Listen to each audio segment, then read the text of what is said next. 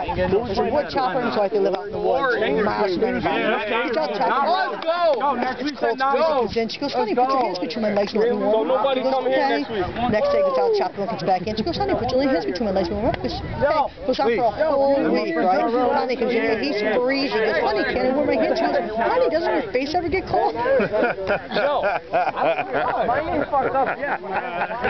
You were never recording.